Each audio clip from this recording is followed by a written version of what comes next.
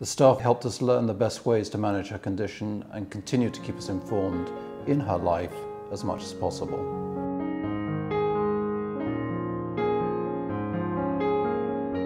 Yes, having looked around at other homes and talked to numerous friends who have relatives in other homes, they certainly don't have the peace of mind or the enjoyment of having a whole family experience with youngsters coming in as well.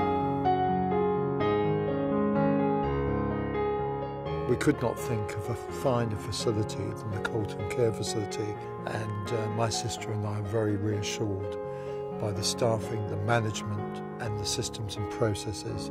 It couldn't be of a higher standard.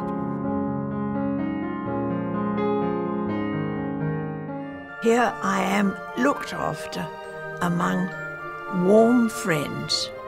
No family, I think, could do better to make me comfortable. I just thought he would deteriorate, instead of which it's incredible. His physical health now is better than it's been in a very long time. I think the security here and the care, he's, he's doing very well. I'm very, very pleased. And can I tell you, I'm not, this is, the carers are fantastic. They all say we love him. And I think, uh, I think he's gone to heaven.